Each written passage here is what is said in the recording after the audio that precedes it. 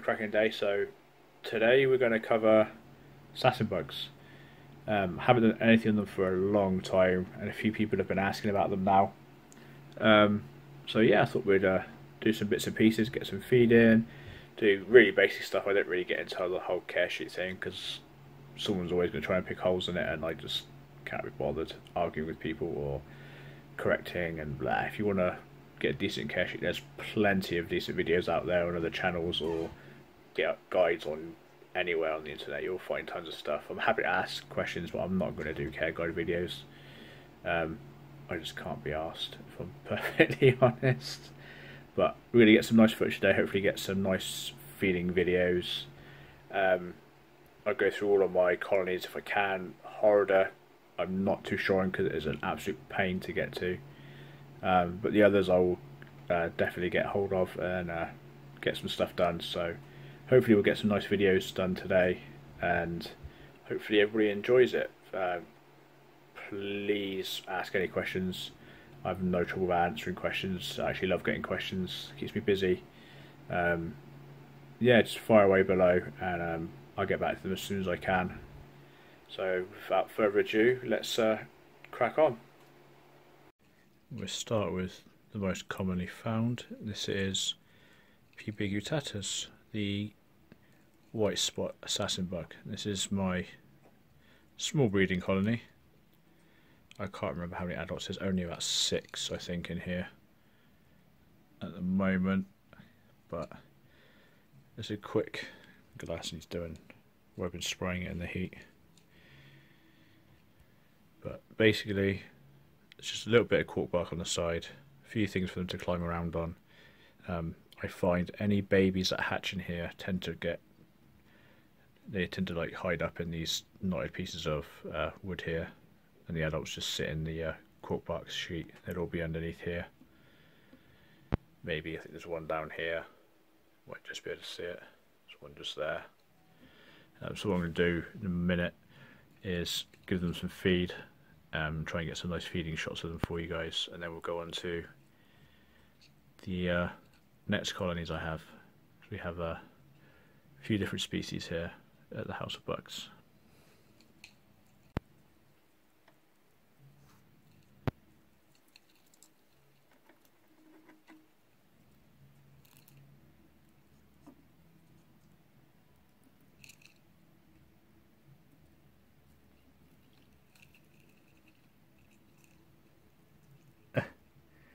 What on earth are you doing? And the roaches got away. You don't see that very often.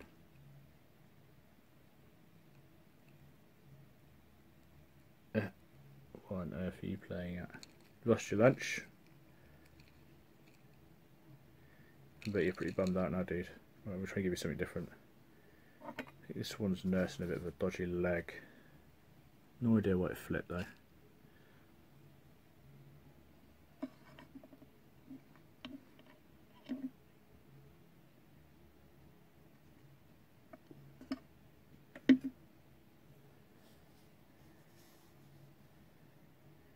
Drop it this time. Plonker.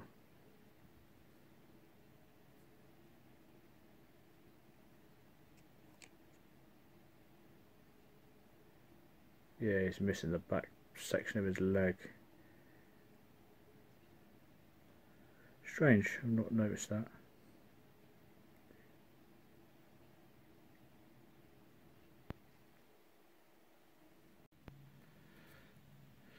Giving them more a bit of a feed. You can see some of them dying around. Enjoying their food.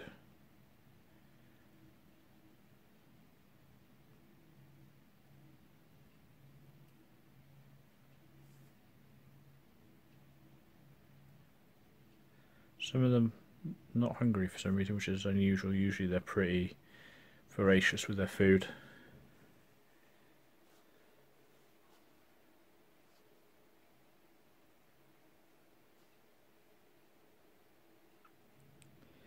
See the venom's pretty fast acting. That's this is the one with dodgy back leg. That roach is already game over. Right, we're going to the next colony, colony and different species now and uh, see what we can capture today. So just as I was starting to pack this away, I noticed, I don't know if you can really see, just here is a nymph. And I saw this roach was going absolutely ballistic. I completely misrecorded. It's running around the entire setup. And it had this little guy actually attached to his head. So this little roach, uh, sorry, this little nymph here, he's got to be L2. So he's quite small, quite young. It's actually just taken down an adult female red runner. That dude is a champion. I didn't even know there was any baby cephalids in here. I usually take them out. Some better footage of the nymph finding a weak spot in the roach's armour and just having a good old chow.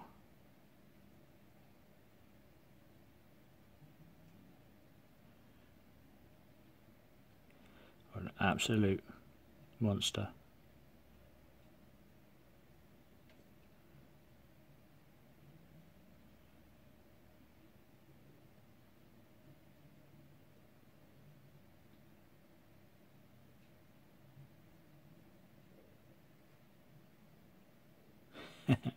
okay, definitely go on to the next colony this time.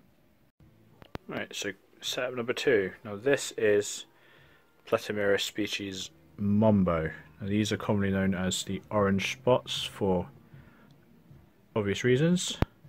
Now, these have literally just started maturing for me. I've got what can be, I think there's a couple of adults in here so far. There's six in total in here.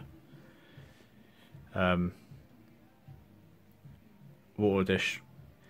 I've started adding water dishes. Um, I never used to. I used to find they used to drink really well off just droplets off the wood, the sides of the enclosure and such. But by spraying the sides of the enclosure, you create water markings. And I've been finding springtails, nymphs, and adults just climbing using the uh, water markings as a anchor. And my Horrida setup, which is I'll get to a bit later, but it is up that fish tank up there has a dodgy lid. Now I'm sure you can see where this is going, but I found one wandering across my floor one day, and since then, things with not 100% lids get water bowls and nice clean sides. but um, we'll come back to these guys. I'm going to get some food out and then we'll try and get some feeding shots like last time. Um, water bowl will need topping up this heat, but as you can see, it's just crawling with springtails, making the most of it.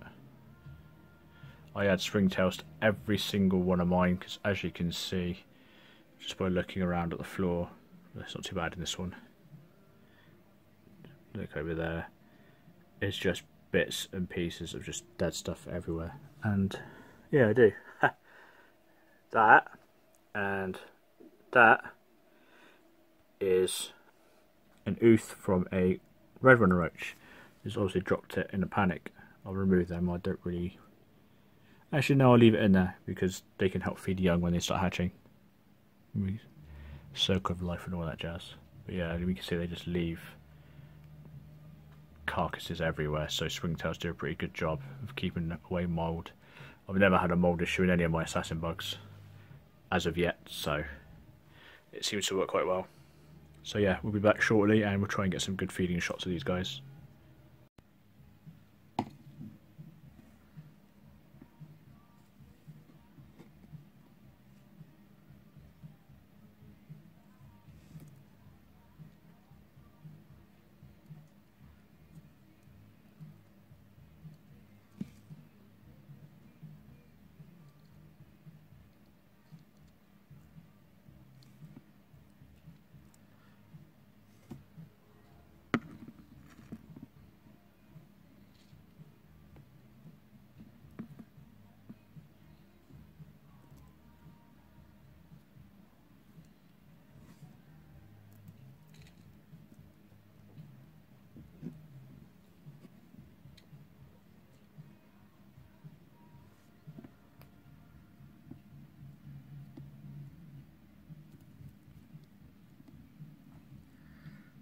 Finally someone took them. They're not looking too hungry today.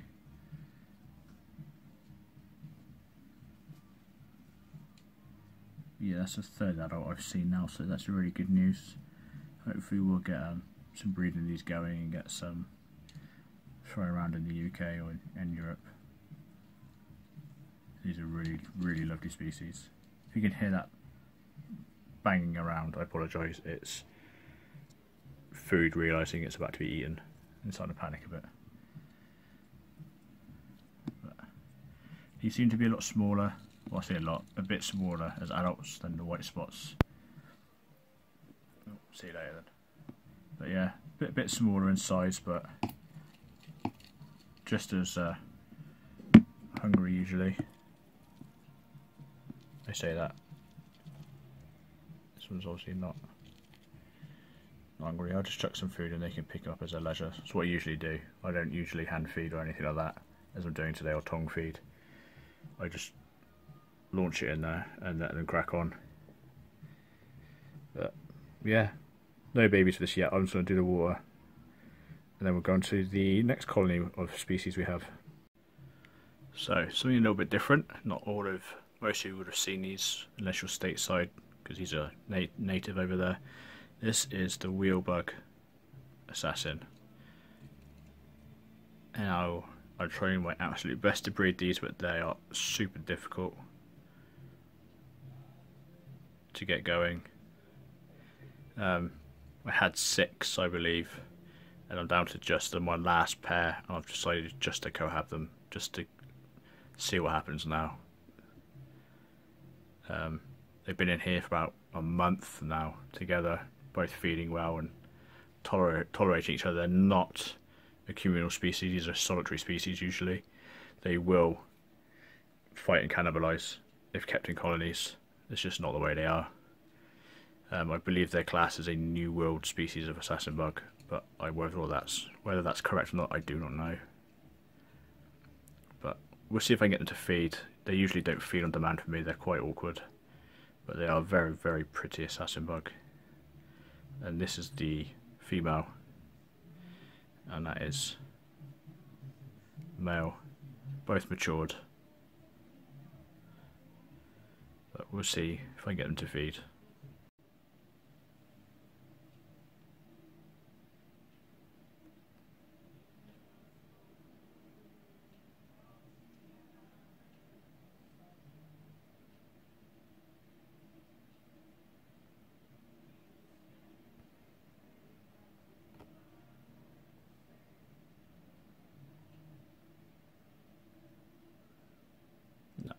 just running away from it. Unfortunately, as expected, neither of them ate. So we just have to settle with a little bit more footage, unfortunately. You can see why they're called the wheel bug. Wait, you could, before she moved. They have a crest on the back.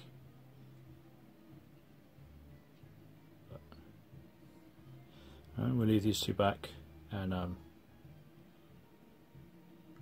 checking the, the next colony we have. Right, so in here we have red spot assassin bugs. Now these I believe are Rhadamanthus. Um, they're not mature yet, they're not far off I think now. But these are like super active.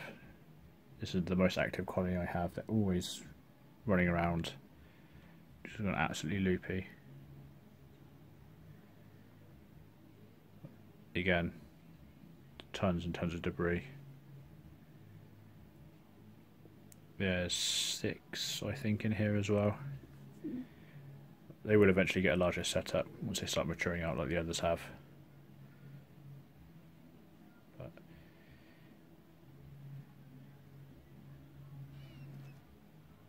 These won't need feed, they were fed recently, so they won't feed, so I'm not going to try tonight. Um, all that's left now is the Horrida, which again don't need feeding, but I'll try and get some shots of them for you. It's really awkward to do because, like as I've said, it's quite high up in the corner.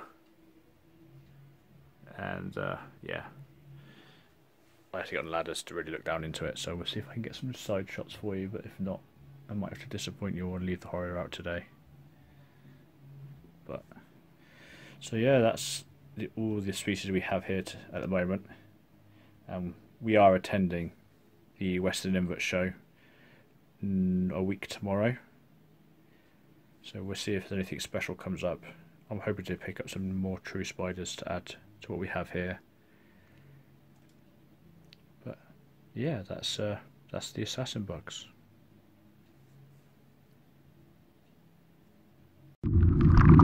you.